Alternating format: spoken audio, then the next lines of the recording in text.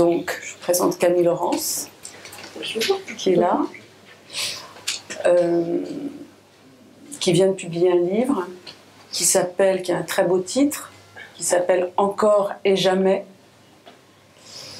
et Tiffaine Samoyo, qui vient aussi de publier un livre, qui a un très beau titre aussi, je dois dire, tout aussi inquiétant, mais d'une autre façon, qui s'appelle Bête de cirque. Donc moi qui ne suis pas critique littéraire et qui suis incapable de parler de leurs livres, le mieux que, je puisse faire pour en parler, c'est d'en lire des petits morceaux.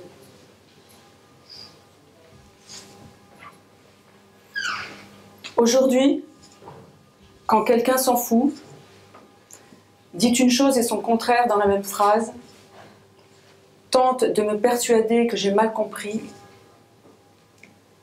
que ce n'est pas ce qu'on voulait dire, c'est comme si j'étais rouée de coups. Je ne supporte pas. Je ne supporte pas quand quelqu'un s'apprête à dire quelque chose, puis s'interrompt, puis dit ⁇ Ce n'est rien, je préfère ne rien dire ⁇ Je ne supporte pas quand quelqu'un me dit quelque chose de blessant et le retire ensuite en posant du bout des lèvres que ce n'est pas du tout ça, que ça n'a pas d'importance. Je ne supporte pas quand on traite la langue comme une vieille chaussette. Je suis confondue avec la langue. Je crois à ce que je dis. Je fais l'effort de trouver le mot juste. J'essaie d'être précise, sinon je ne dis rien. En même temps, je suis faite des mots des autres, des phrases que l'on m'adresse ou par lesquelles on me caractérise. C'est ma matière, le bois dont je suis faite. Mais comme ces phrases sont parfois confuses et pas bien essentielles, elles rendent mon corps vague, presque liquide. Là, j'ai deux solutions. Soit je me mets en colère pour me solidifier, soit je me mets à pleurer. C'est un peu déstabilisant pour mes interlocuteurs. Ce ne sont que des mots, me disent-ils. Ce n'est rien du tout, les mots. Ce n'est pas comme les actes. Pour moi, si. Le vrai et le faux, le juste et l'injuste sont des actes qui ne peuvent advenir que dans les mots. Une phrase violente et vraie me durcit au contraire. Empile des briques et me donne une assise. Comme dans un jeu où les briques se défont à toute vitesse dans un ordre aléatoire mais qui reste géométrique. Cette stabilité soudaine ne dure pas.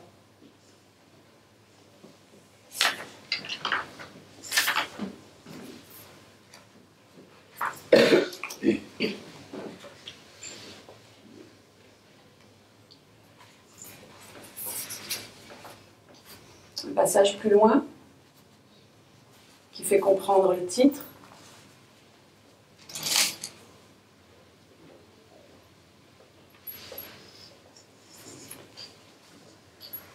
Bête de cirque, je me rappelle.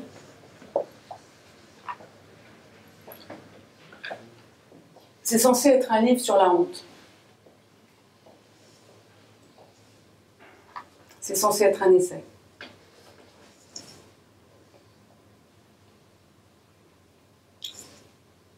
J'avais quelques années, six ans, sept tout au plus. J'étais à l'école élémentaire. Un cirque était en tournée dans la petite ville où je vivais. Je suis allée visiter la ménagerie avec mon père. J'avais plus d'admiration que de pitié à cet âge pour les animaux en cage. Les éléphants surtout. avec leur peau qui découvre tant de paysages. Ils paraissaient si placides sur la place où ils avaient été conduits. À la représentation du soir, nous étions là. Toute la petite ville était là.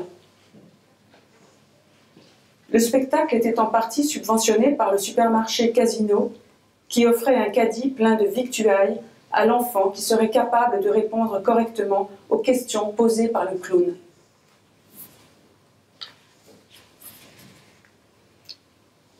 Qui veut venir sur la piste? a demandé M. Loyal. Moi, moi, moi. Des bras se sont levés, le mien semble-t-il plus haut que les autres puisque j'ai été choisi, avec quelques-uns. Aussitôt, mes joues ont rougi et ma tête a tremblé. Les yeux se sont braqués sur le singe. J'ai répondu aux questions mécaniquement. Je m'apprêtais à gagner quand, soudain, j'ai été prise de panique à l'idée de savoir. Je refusais d'être savante et en un instant je me suis révoltée. J'ai répondu à côté. Mais il en aurait fallu plus pour ne pas gagner.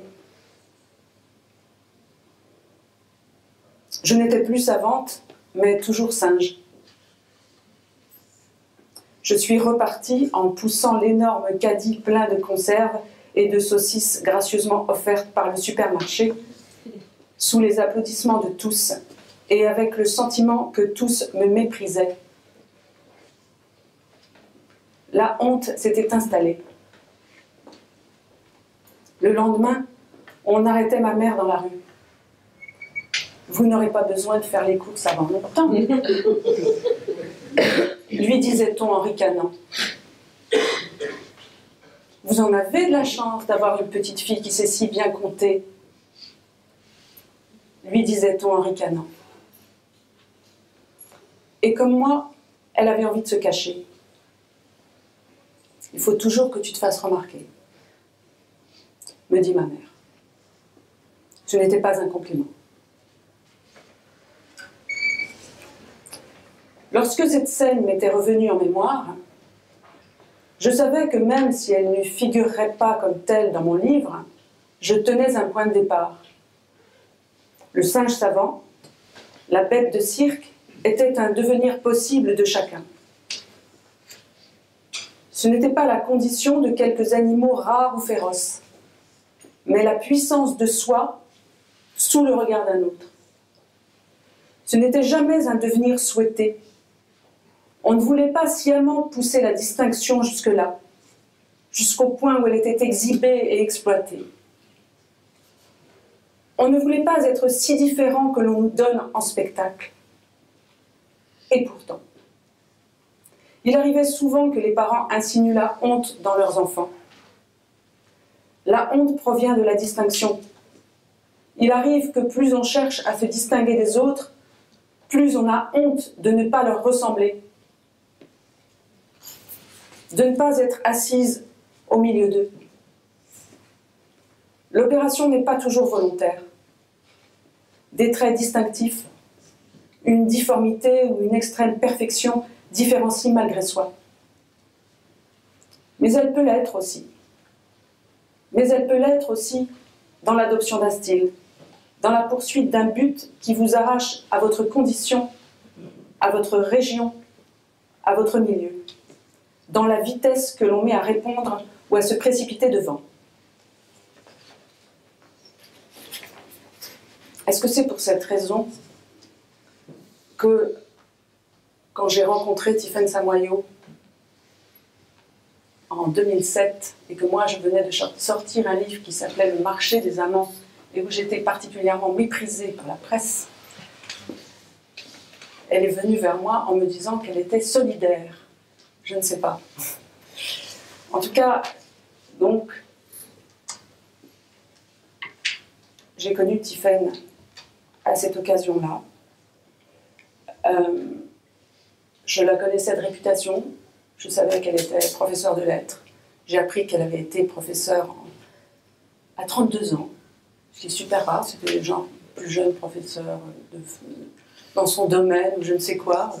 Non, pas tout à fait, mais enfin bon. En tout cas, euh, après ça, j'ai eu l'occasion de, d'entendre quelqu'un lui demander au cours d'un dîner euh, Mais c'est qui ton patron? Elle a dit C'est moi. Voilà. Et, mais enfin, elle avait quand même à écrire. Elle avait quand même à écrire. Et donc là, elle pouvait pas. Elle, savait très bien que là, il suffisait pas, évidemment, d'être ni la plus jeune, ni celle qui savait. Et que euh, c'était une autre question. Donc je pense qu'on en parlera peut-être tout à l'heure. Et il y a une chose qui a été très importante un jour pour moi, que Tiffany a dite.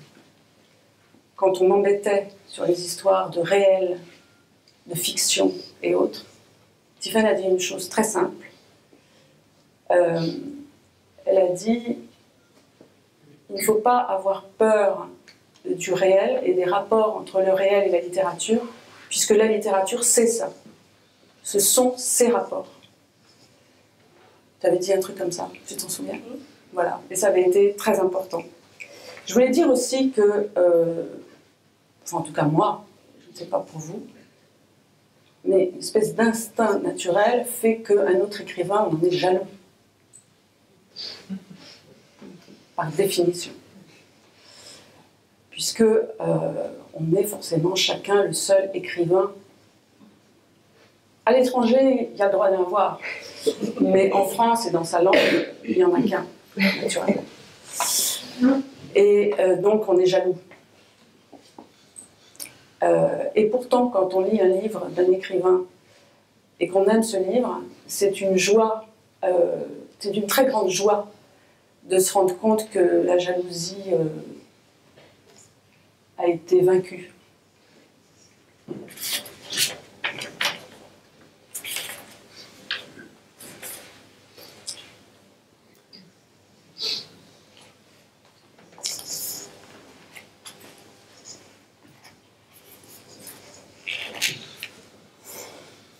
Le livre de Camille Laurence s'appelle Encore et jamais. Après, c'est vous qui parlez parce que ça, ça va être beaucoup plus compliqué pour moi.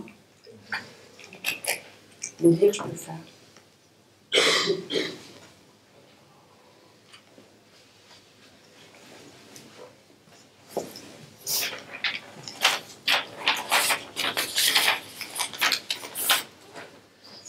Encore et jamais, c'est aussi être censé être un essai. Et c'est censé être un essai, et c'est d'ailleurs le cas, sur la répétition. Question de la répétition. Je sais, a priori, ça ne nous intéresse pas. oui, mais enfin, bon, enfin, je veux dire, un essai sur la répétition. Bon. D'ailleurs, je ne suis pas sûre que ça l'intéressait tant que ça de le faire, parce que ce qu'elle dit aussi beaucoup, c'est qu'elle avait décidé de le faire parce qu'elle savait qu'elle avait à le faire, mais que, euh, bon, ça traînait, quoi, elle ne le faisait pas. Ça m'ennuyait. J'ai bien compris.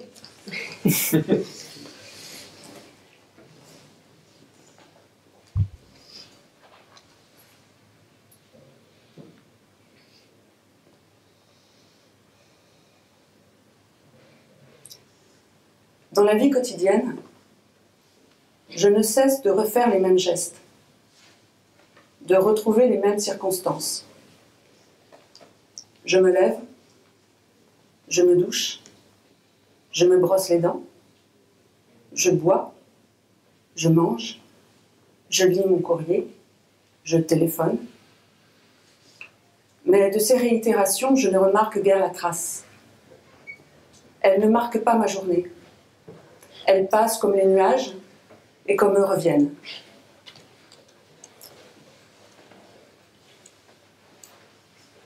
Ce que je note, en revanche, et comment faire autrement quand le béton prend dans ma poitrine, quand je ne peux supporter le bloc de marbre qu'en restant dessous immobile, ce que je reconnais tous les jours, c'est l'angoisse. L'angoisse est ce qui se répète en moi pas le souvenir précis d'une douleur passée, pas l'appréhension d'une catastrophe à venir, mais l'angoisse ici et maintenant, sans cause claire dans le présent non plus. sinon le sentiment d'être en vie dans un corps écrasé. Je n'ai pas peur, ni de la maladie, ni de la mort, puisqu'elle y mettrait fin. Et pourtant, cela ressemble à la peur. Mais une peur sans raison, sans danger sur quoi raisonner, sans bête à prendre par les cornes.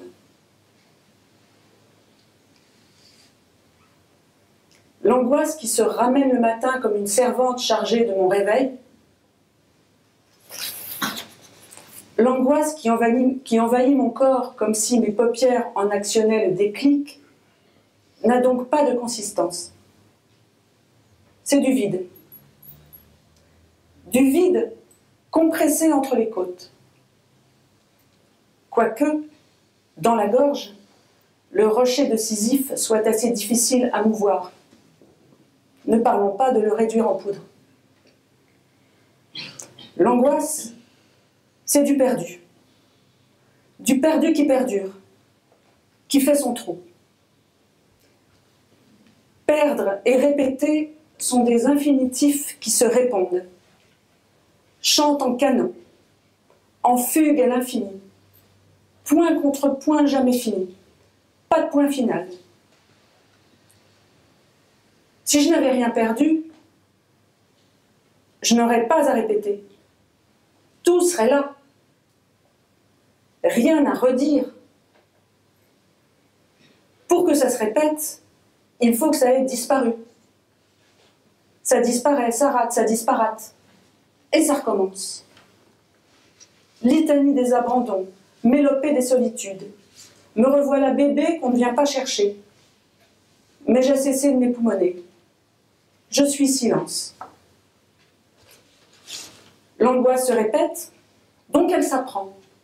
Elle s'apprivoise. À la longue, à force, on la connaît comme si on l'avait faite. Ça devient la comptine du matin, la ritournelle. On en rirait presque. Pète et répète sont dans un bateau, pète ton ballot, qu'est-ce qui reste?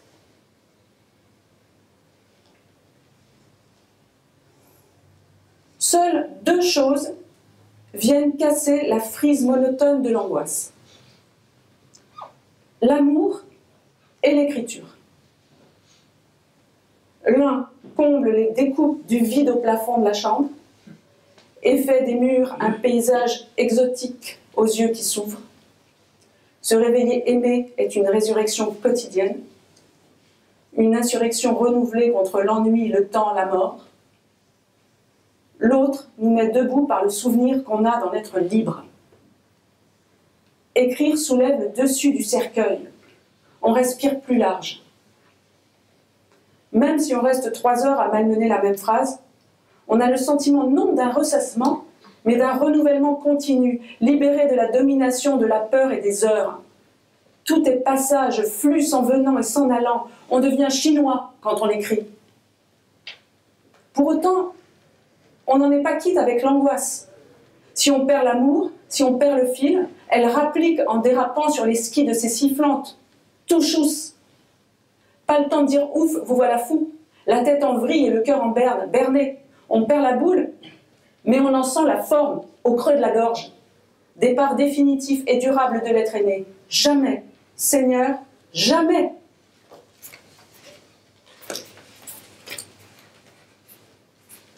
Chapitre suivant. Elle traite des sujets comme ça, les uns après les autres, dans les chapitres.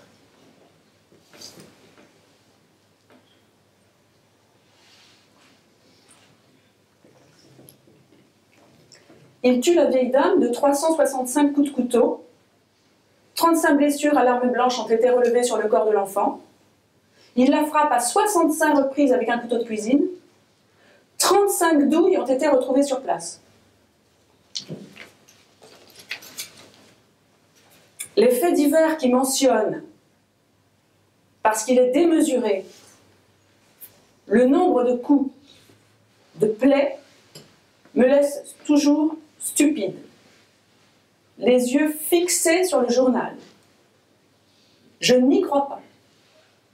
Je ne peux me représenter la chose. Elle est impensable. Je ne la pense pas. Elle me cloue à une angoisse qu'on pourrait dire incalculable.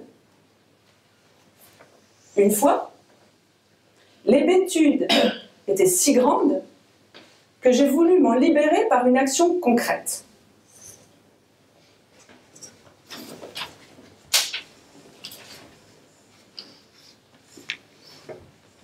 J'ai pris un stylo dans ma main et j'ai commencé à frapper un oreiller. Je voulais voir si c'était physiquement possible de répéter 365 fois le même mouvement du bras se levant et s'abaissant sur une cible autant de fois qu'il y a de jours dans un an. Je voulais vérifier qu'on pouvait le faire je n'ai pas pu aller au-delà d'une trentaine. Tant je ressentais dans mon corps une lassitude gênante, une sorte d'écœurement du geste. Je n'étais pas en train de tuer quelqu'un. Et ma raison était entière, sauf à penser qu'il faut être un peu marteau pour se livrer à ce genre d'expérience. Ce qui explique sans doute mon ennui. Mais j'ai vaguement pressenti dans cet exercice macabre que la répétition pouvait amener jusqu'à la transe, à cet état second où s'annulent les efforts du corps, où s'efface le souvenir de soi pour s'enfoncer dans l'autre, ce double misérable. Je sors de mon corps et m'anéantis dans la mort que je donne. Aucune fatigue donc, aucune pensée qui m'arrête tel un derviche tourneur, à force de recommencer le geste hypnotique, un tournis me vient, léger d'abord, je continue, je continue, puis plus fort, à mort, à mort. Je m'assure que ça tue, que ça tue bien, j'assure. Quand la haine passe à l'acte, elle s'enivre dans la transe, qui est transition vers rien, néant, nada, Zénith, Nadir, haut, bas, mon poing serré est comme un piston entre ciel et terre, jour et nuit. Je vois rouge, je saigne à blanc, puis c'est la nuit.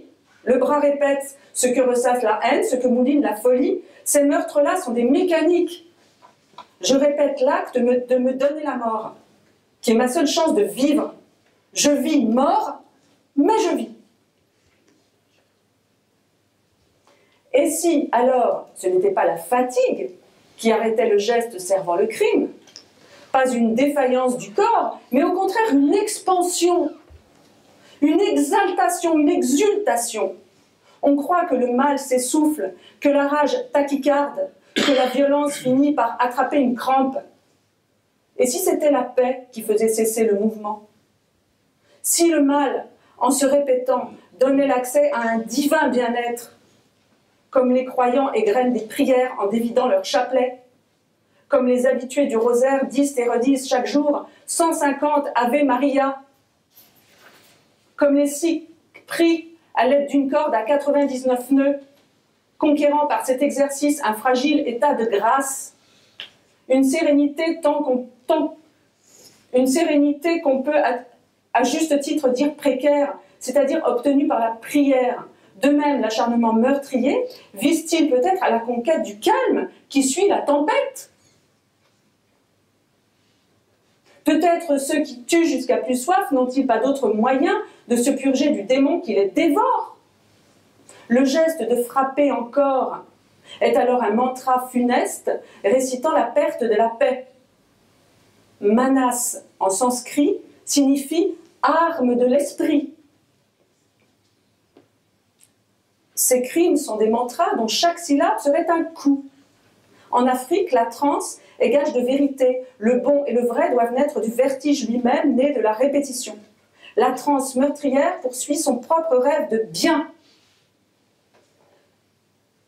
Fait moins de vérité que d'oubli, moins de savoir que de néant.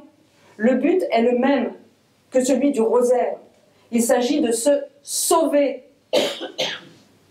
la douleur, la haine, le passé, la honte, ça passe. On redit des mots, on refait des gestes, répéter nous prend en pitié. alors on peut s'arrêter. La litanie se dilue, se dilue dans la joie contemplative. La mélopée se fond dans la contemplation. L'encore, du coup, qui est littéralement un encore, cesse, on en sort. Certains criminels en série, qui respectent minutieusement un scénario identique, se disent heureux après l'acte de mort. Apaisés, pacifiés.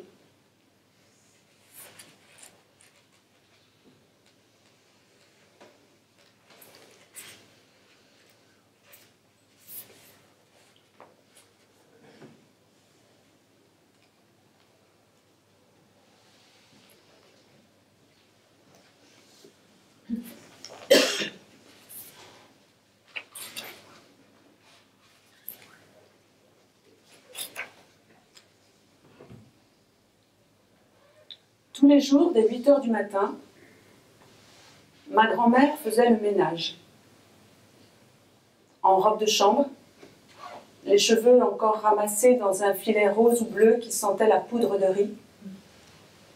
Elle astiquait les meubles, soulevait les bibelots, époussetait les livres, secouait les rideaux, tapotait les coussins, frottait les poignées des portes et les cadres des tableaux elle le faisait dans un ordre immuable, passant d'une pièce à l'autre avec une régularité horaire si parfaite qu'à 8h15, on était sûr de la trouver dans le bureau et à 8h30 au salon.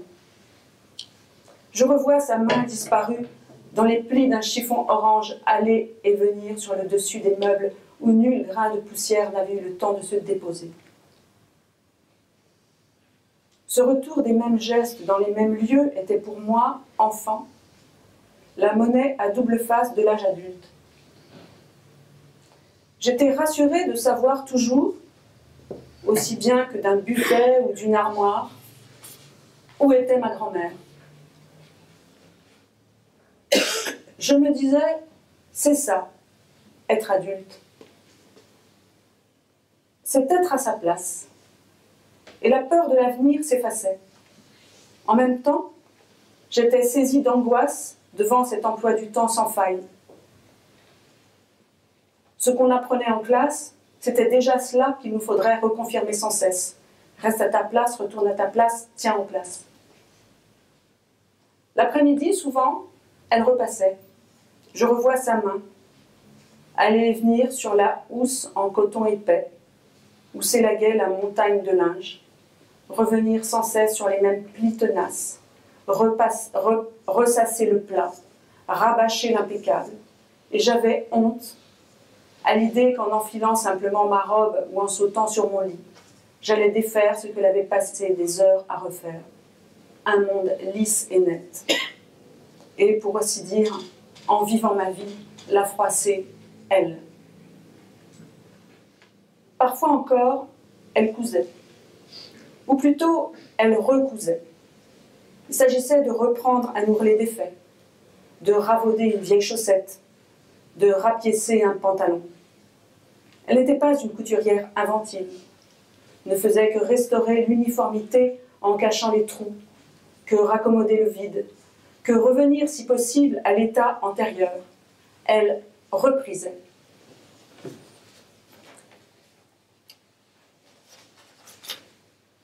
Donc Camille Laurence, je l'ai connue en 2000. En quelle année?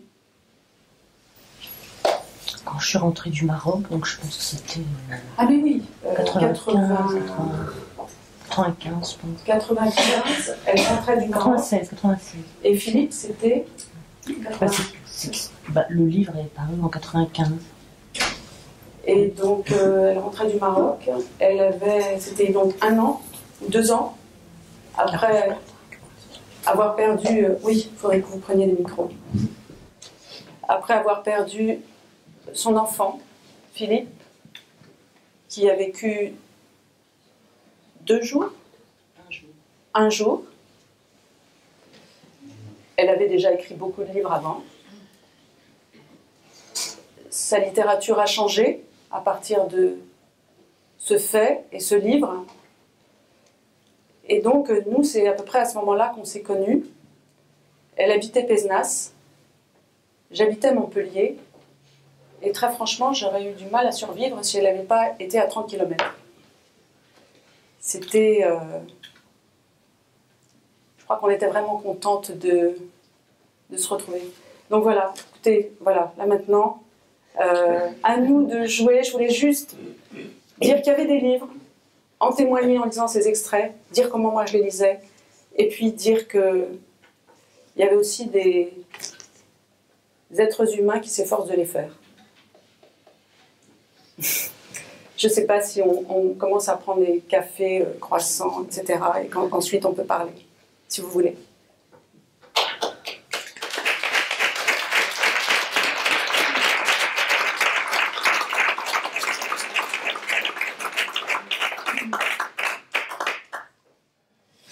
D'abord, euh, dire, euh, je pense que je le dis aussi euh, au nom de, Camille, hein, de remercier Christine du geste magnifique, extrêmement généreux qu'elle fait en lisant, en, prenant en charge les, mots qu'on a écrits, et en, enfin, en le faisant bien mieux que moi, je ne le ferais. en tout cas, ça me demanderait quelque chose que voilà, dont je me sens pas souvent capable, disons. Euh, donc euh, voilà, je voulais commencer par ça. Je voulais dire aussi quelque chose euh, à propos de, l'écriture. Parfois, on, dit qu'il y a deux sortes d'écrivains. Il y a les écrivains qui écrivent toujours la même chose, et puis les écrivains qui explorent une nouvelle chose à chaque fois. Et en fait, moi, j'ai compris qu'il y avait qu'un seul type d'écrivain. Enfin, pour moi, il y a seulement ceux qui répètent toujours la même chose qui sont des écrivains. Et euh, donc, comme, euh, comme Christine le fait, comme euh, Camille le fait, et ce texte sur la répétition. alors, c'est amusant parce que j'ai rencontré pas mal de gens qui m'ont dit qu'ils auraient aimé écrire ce livre sur la répétition. Je pense que Sûrement l'aurait-il écrit autrement, mais. J'aurais dû me le dire avant. et je lis dans le sien que bon, c'était quelque chose qu'elle prenait derrière elle donc, non, donc moi, en lisant, c'est quelque chose que j'avais déjà compris que euh, ce que moi j'appelais la littérature, en fait, avait à voir avec le fait de reprendre, de remettre sur le métier, on pourrait le dire euh, dans, des termes beaucoup plus anciens que les nôtres, euh, les reprendre justement pour les porter plus loin, pour les porter ailleurs. C'est la, répétition est toujours aussi une forme de reprise et de déplacement. Et ce que j'ai appris et que je ne savais pas avant, c'est et qui euh, je l'ai appris dans le livre de Camille, mais ça me permet aussi de comprendre euh, ce que, j'aime dans, le, dans les livres de Christine, c'est que euh, l'écrivain, c'est aussi celui qui répète un secret qu'on lui a demandé de ne pas répéter. Et qui rompt, enfin qui, rompt une sorte de contrat ou de pacte euh, passé. Il précise qu'il y a un petit. Dans son livre. Ah non, parce que ça, c'est chacun va le découvrir peut-être. À un moment, euh, la, grand-mère que vous avez vue passer au début et épousseter ses meubles dit à la petite fille surtout ça, ne le répète jamais. Et euh, il, me semble que, enfin, tout d'un coup, en lisant ça, je me suis dit tiens, ça, c'est cette répétition-là que j'apprends dans, dans, ce livre. Euh, et, qui me fait comprendre que, que l'écrivain, c'est pas seulement celui qui est dans la reprise acharnée des mêmes choses, mais qui, ce faisant, euh, fait quelque chose qu'on lui a demandé de ne pas faire. Oui, c'est drôle que vous parliez euh, du théâtre, de cette idée que on peut mourir chaque jour au théâtre et en même temps on revit, on ressuscite, parce que c'est, une scène que je reprends dans, le dernier chapitre de mon livre, où je raconte que je suis allée voir euh, L'espace furieux de Valère Novarina, et à la toute fin, il y a un, des comédiens qui est, euh, qui est à terre, qui est supposé être, être mort, et l'autre lui tend la main, un autre lui tend la main et lui dit Relève-toi. Celui qui est à terre dit Pourquoi? Et il lui dit Parce que la mort n'est pas vraie. Et je trouve ça merveilleux et c'est vraiment une grande expérience de théâtre pour moi, spectatrice, parce que euh, euh, je me disais, mais c'est formidable d'être comédien, parce que j'imaginais la, joie du, comédien, justement, à terre, et puis on lui dit, la mort n'est pas vraie, alors il se relève, et puis effectivement, elle n'est pas vraie, puisqu'il vient saluer, et puis je trouvais ça absolument extraordinaire. C'est, voilà, c'est une une expérience qui, qui, est euh, sans doute euh, un peu différente de celle que je peux avoir comme, euh, écrivain, mais je, je, la, je comprends la jubilation que ça peut être. Oui, je pense que cette, non, cette, cette joie, en effet, je pense que c'est peut-être ça qui fait que, comment dire, c'est ça qui nous rend heureux, en fait, que ce soit. Enfin, que ce soit pas vrai. C'est-à-dire que quand on écrit, forcément, on le fait à partir du réel.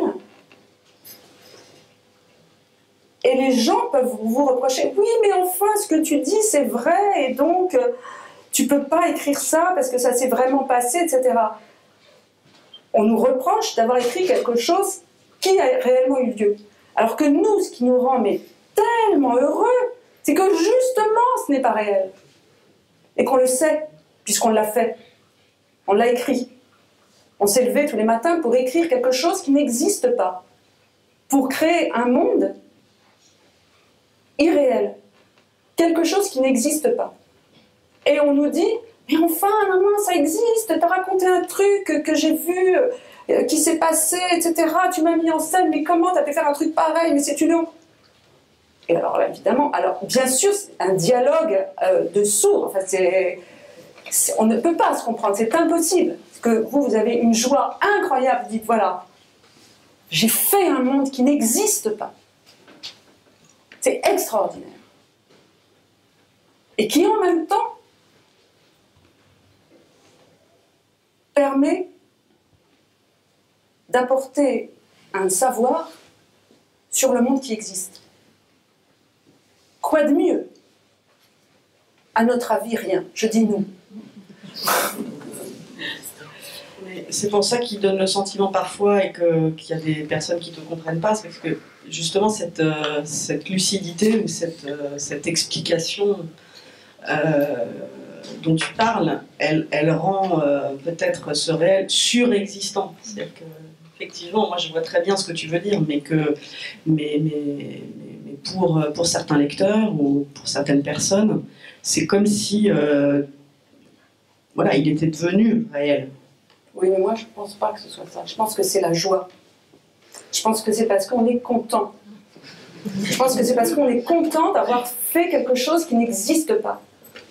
Alors que les gens veulent toujours faire des choses qui existent, de façon à avoir le pouvoir dessus.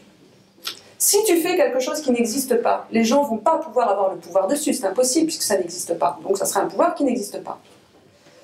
Donc je crois que c'est complètement... Euh, enfin voilà, moi je pense ça. Qu'est-ce que tu penses, Laurence? Oui, la joie. Parce que je, pensais ça, parce que quand, quand je, je, vois, alors pardonnez-moi, j'appelle Laurence Laurence parce que c'est son vrai prénom, Laurence est un pseudo, je le répète, pardon, c'est pas du tout parce que c'est ma vieille copine de chambrée, absolument pas. J'appelle vraiment Laurence. Et euh, donc c'est parce que c'est quand même incroyable de, de, de, de te voir tout à l'heure dire, c'est c'était super, je suis allée voir un spectacle et en fait l'acteur n'était pas mort et, alors donc un type il a relevé qui a dit vas-y tu peux lever, c'est la mort est pas vraie. Et elle est très contente de ça. Et ça lui va, ça lui suffit, elle a passé une bonne journée parce qu'elle a eu ça. Donc c'est sûr que chez des êtres adultes, on se dit mais... Euh... je sais pas. Et, et pour ce que tu disais, oui mais ça le met en lumière, mais je sais pas. Ah bah, ça fait écho à ce que tu rappelais que j'avais dit une fois et qui avait été important pour toi.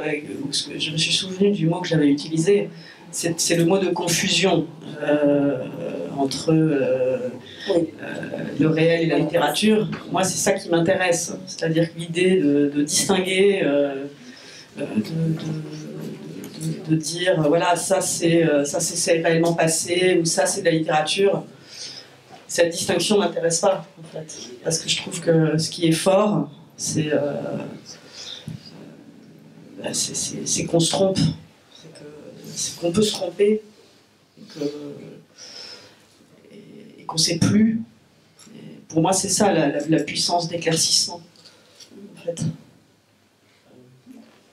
C'est- quelque chose d'assez. euh, de- la question de la répétition dans l'écriture, elle est. Elle est euh, enfin bon, c'est pas exactement comme ça, parce que euh, il se trouve que un jour, j'ai- envoyé un texto à Jacques Alain Miller, action assez banale, somme toute, mais enfin qui est en train d'avoir un destin quand même. euh, ça fait à peu près deux mois qu'on parle de ce euh, je, lui disais quelque chose, et, euh, parce qu'il avait écrit à propos d'un texte que j'avais écrit. Il faisait un commentaire. Et je lui ai répondu en le remerciant. Et j'ai eu cette phrase Écrire est toujours une surprise dans le texto que je lui ai envoyé. Euh, et donc, ça m'a intéressé et il a reparlé ça. Donc,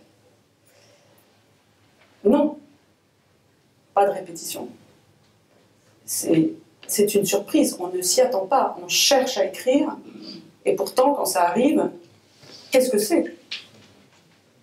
On est surpris par ce qui est en train d'arriver, comme si on ne l'avait absolument pas imaginé, parce qu'en fait, c'est vrai, on ne l'a pas imaginé. Écrire n'est pas quelque chose qu'on peut imaginer. C'est quelque chose qui survient. Alors après, bien sûr, la question de la répétition, de la lecture, de la relecture, du travail, tout ça, bien sûr. Mais euh, qu'est-ce que... Oui, moi je- j'ai trouvé exactement ça. Ce qui est répété, ce sont des rituels euh, qui, euh, de, de conduite à l'écriture. Ça, ça peut être aussi des rituels euh, tout à fait euh, matériels. euh, donc euh, de se, de se mettre à, la table de, à sa table de travail à telle heure ou avec, après avoir bu tel café, enfin, et avec tel ordinateur, avec tel stylo, tel papier. Mais euh, mais il n'y a pas du tout ce, ce- ce phénomène du geste qu'évoquait euh, Nora Krief, du Oui. geste euh, où on peut refaire euh, peut-être euh, euh, mille fois euh, le même trait. hein, C'était Matisse dont tu parlais. Mais, euh, parce que même quand on refait euh, 50 fois la même phrase, en fait, c'est justement jamais la même. C'est bien, c'est bien l'ennui. Vas-y, prends, prends le micro. Non, je trouve pas que ce soit l'ennui, parce que quand on dit recommencer, euh, c'est comme quand on dit recommencer, je vais, recommencer ma lettre, euh, c'est qu'on ne veut pas la refaire à l'identique, donc euh, on recommence, mais c'est toujours, c'est, toujours nouveau. Est-ce que, monsieur, vous voulez vous exprimer de nouveau sur ce que, ce que vous disiez? Et alors, oui.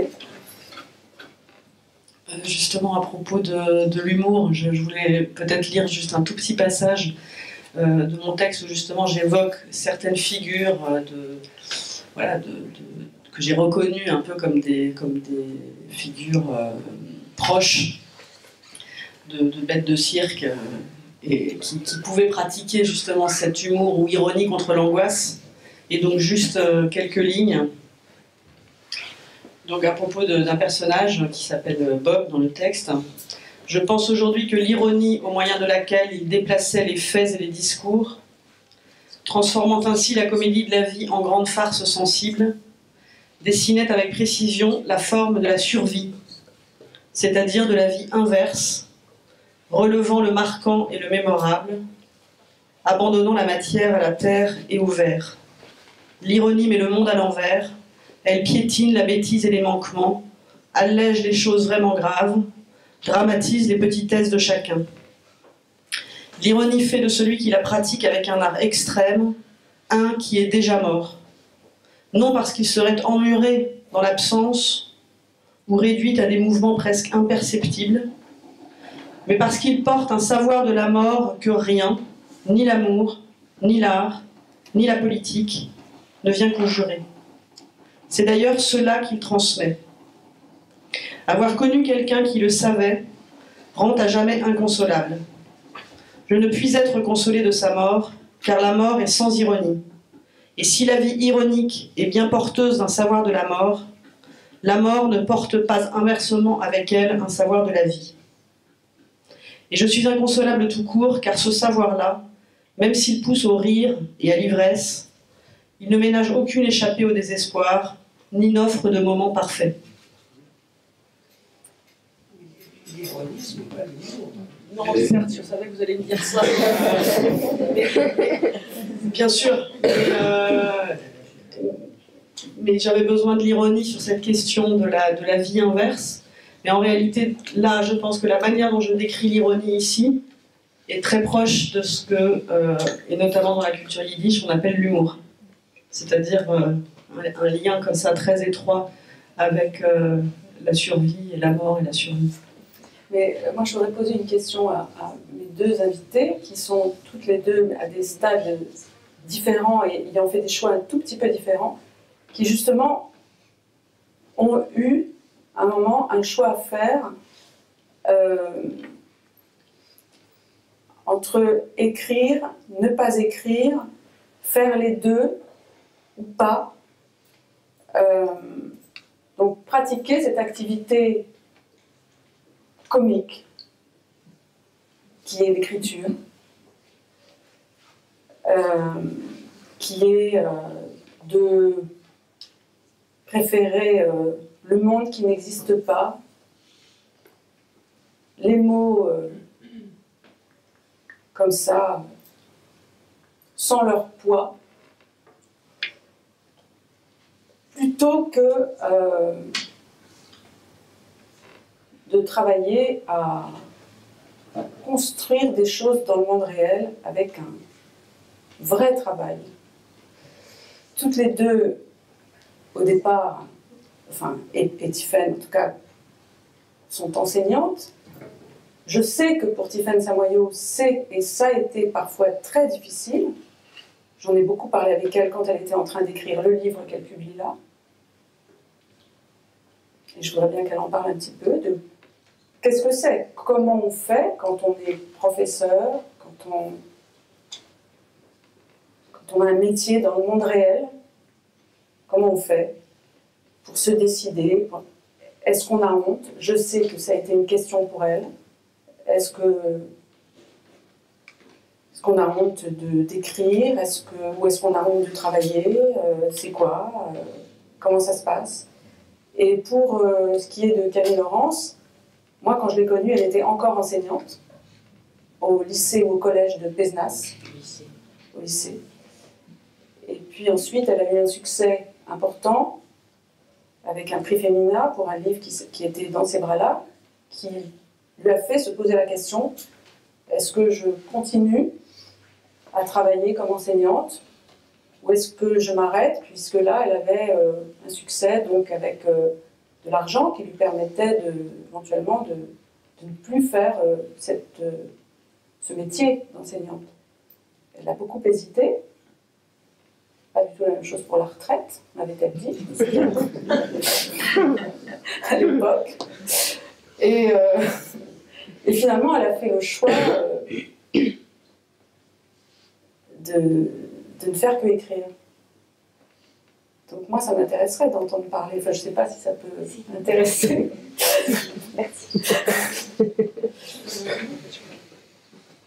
Au contraire, c'est intéressant aussi. Non, mais toutes les deux. Oui, moi j'ai fait, j'ai fait le choix parce que je pouvais le faire. Je ne sais pas si Tiffaine euh, aurait fait le même choix si, si elle avait pu euh, économiquement. Euh, cela dit, je ne suis pas sûre que ça soit antinomique. Enfin, là, j'ai repris quelques, quelques heures de cours.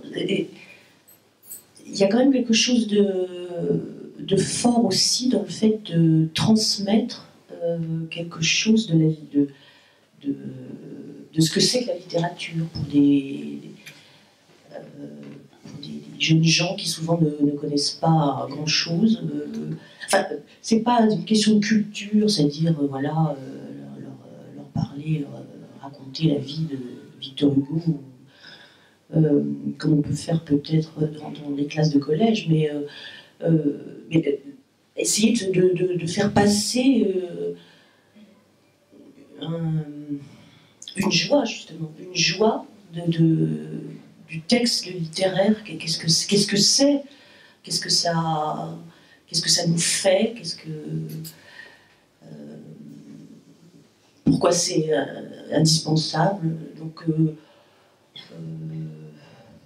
j'étais contente d'arrêter d'enseigner. J'étais très contente parce que j'avais envie de temps, euh, de, pouvoir écrire quand je voulais, d'y passer euh, des heures, le jour, la nuit, de ne pas avoir d'horaire, les fameux horaires de, ma grand-mère. Je n'avais pas envie du tout, moi, que qu'on sache où me trouver, euh, dans telle, la salle numéro de temps au lycée à telle heure.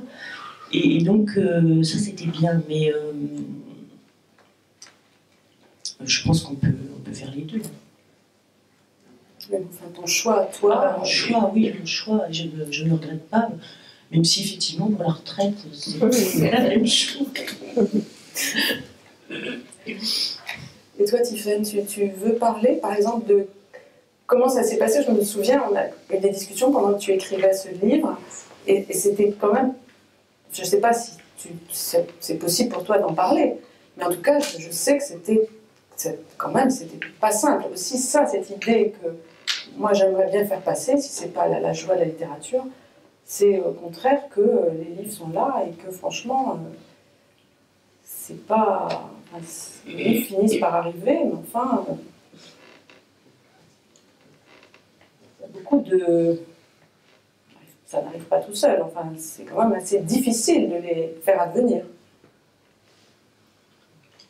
Bon, moi je ne vais pas parler peut-être de toute façon, je parle dans le livre hein, de, ce sentiment de honte qui, euh, qui était très fort, euh, qui, euh, rendait difficile d'assumer le fait d'écrire ou de vouloir écrire. Donc ça, je ne vais pas spécialement en parler. Enfin, ça a déterminé beaucoup de choses.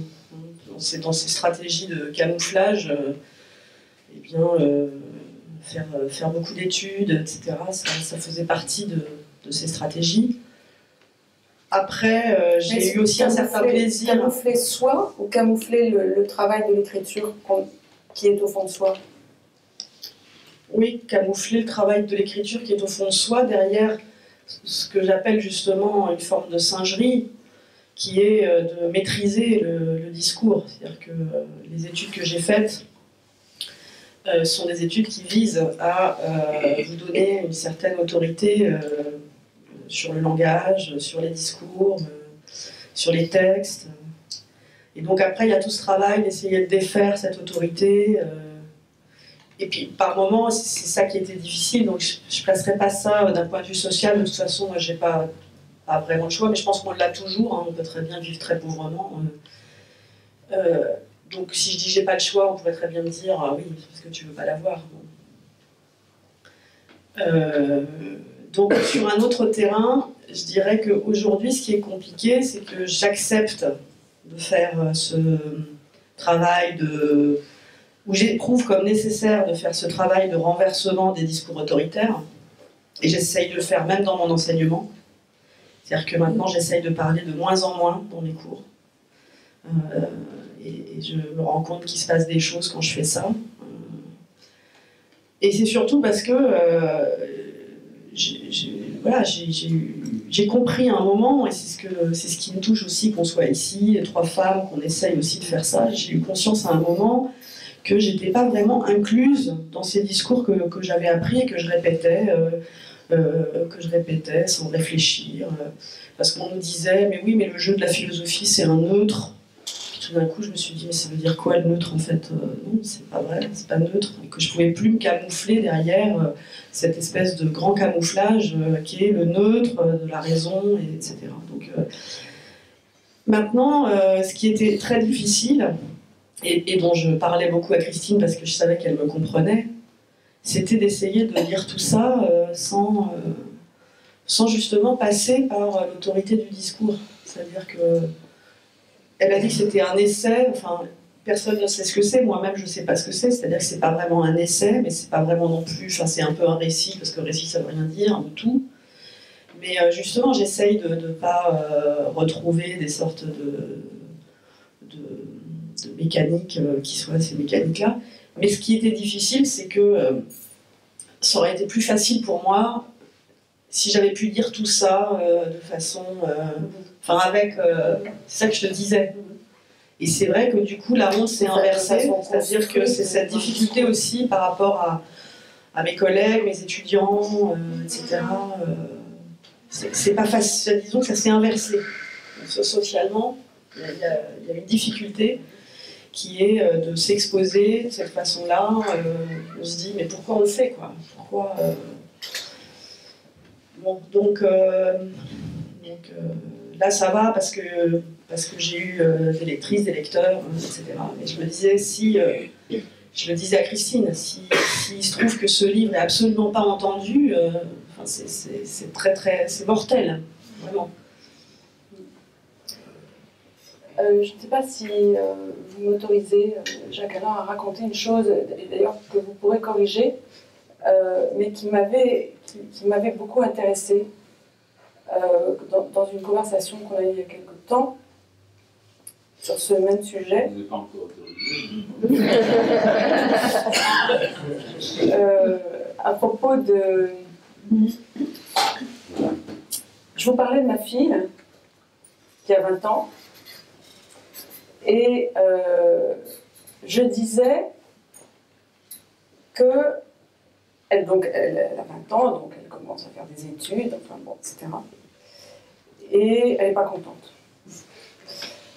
Euh, ça va pas, elle s'ennuie, enfin bon. Euh, s'ennuie en cours, euh, voilà, pourtant choisi, il y a l'histoire de l'art, enfin, ça va pas.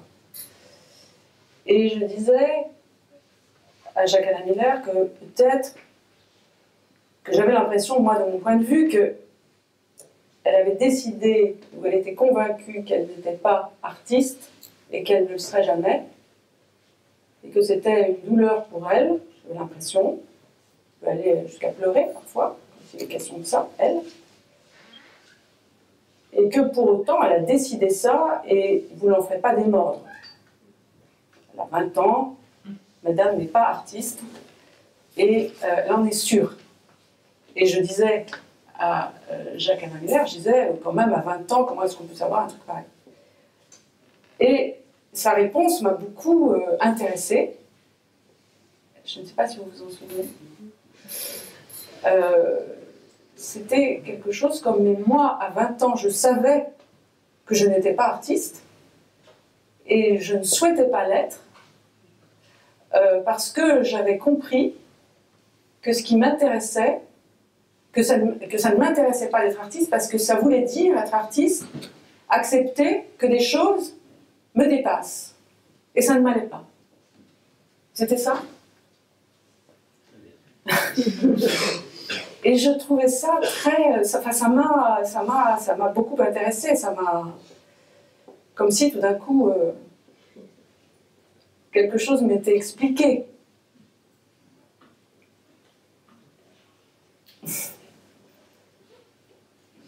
Et j'ai l'impression, Tiffen, que c'est un petit peu cette, euh, cette chose-là qui se passe aussi quand Tiffen explique que dans son travail de professeur,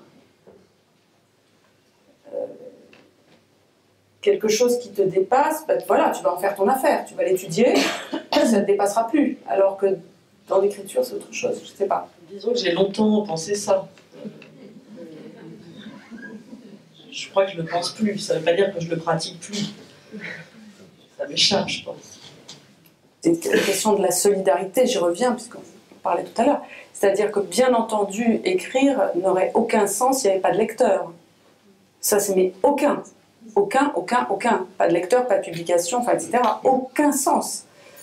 Euh, autrement dit, si ce truc qui n'existe pas euh, et qui était et que celui qui écrit propose, euh, il n'y avait pas des gens qui avaient envie de s'en saisir aussi, sinon ça n'a aucun intérêt. Quoi. Voilà.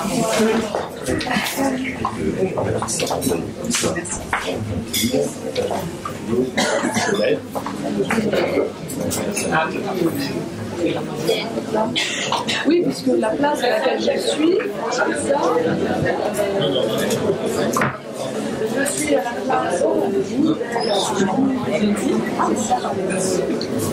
la place de cet être.